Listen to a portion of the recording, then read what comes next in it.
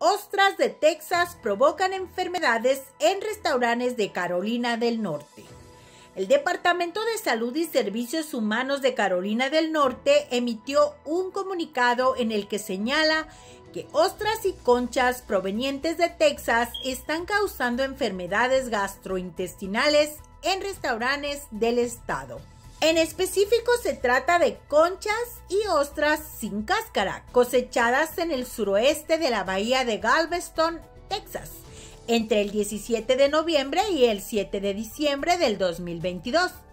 Restaurantes y tiendas de Carolina del Norte deben revisar sus productos y retirar inmediatamente los que pertenezcan al lote mencionado. De igual forma, pidieron a todas las personas que se hayan intoxicado con ostras acudir con un especialista y mencionar el lugar donde las comió o compró, ya que estas enfermedades son principalmente peligrosas para mujeres embarazadas, adultos mayores y personas con bajas defensas.